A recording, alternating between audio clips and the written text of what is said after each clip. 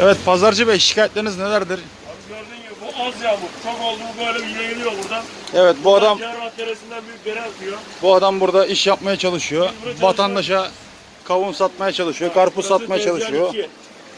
Tezgahın dışı böyle.